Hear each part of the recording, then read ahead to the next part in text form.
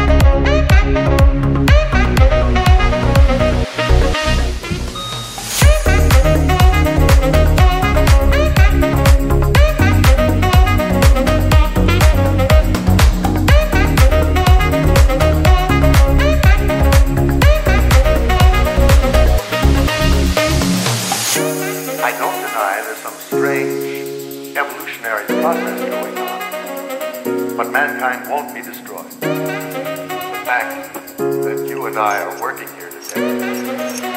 evidence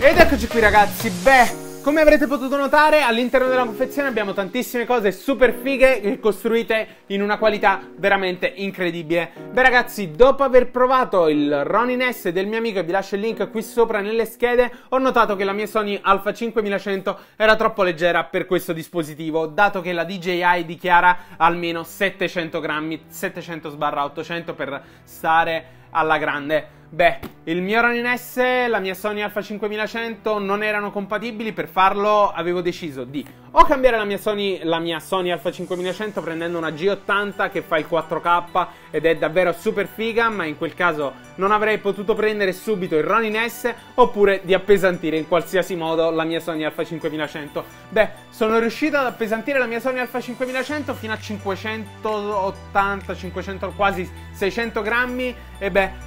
L'ho provato e funziona ragazzi, quindi bastano 600 grammi all'incirca per utilizzare il Ronin S. Ragazzi, ho messo un cage della Smorrig con tutte le staff che ci dà a disposizione DJI ed è veramente una figata incredibile. Sono riuscito ad utilizzarlo quindi e a comprarlo e portarvelo qui sul canale. Ragazzi, spero che questo video vi sia piaciuto, se così è stato vi raccomando lasciate un bel like, iscrivetevi al canale e insomma aspettatevi tanti video stabilizzati molto meglio. Ragazzi, io non faccio altro che salutarvi e dirvi che noi ci vediamo domenica prossima sempre qui sul mio canale YouTube.